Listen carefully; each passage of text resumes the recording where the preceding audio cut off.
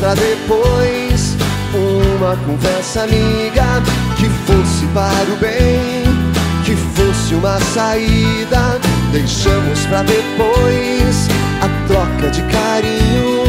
Deixamos que a rotina fosse nosso caminho. Deixamos pra depois a busca de abrigo. Deixamos de nos ver fazendo algum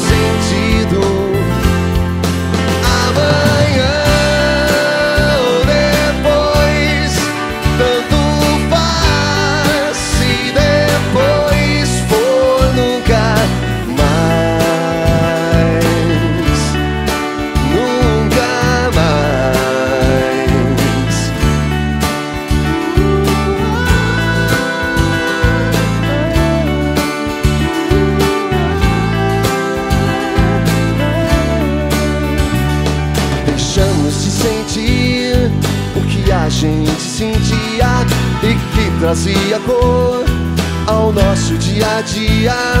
Deixamos de dizer o que a gente dizia, deixamos de levar em conta a alegria, deixamos escapar por entre nossos dedos a chance de manter unidas nossas vidas. Amanhã.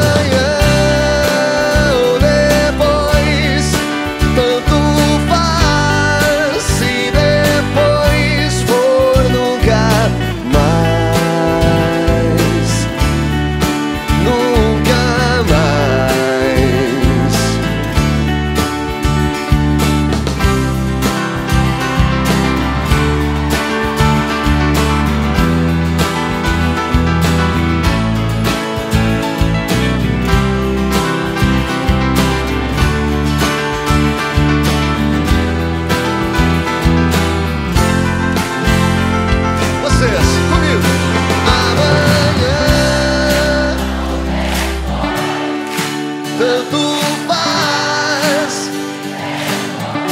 For nunca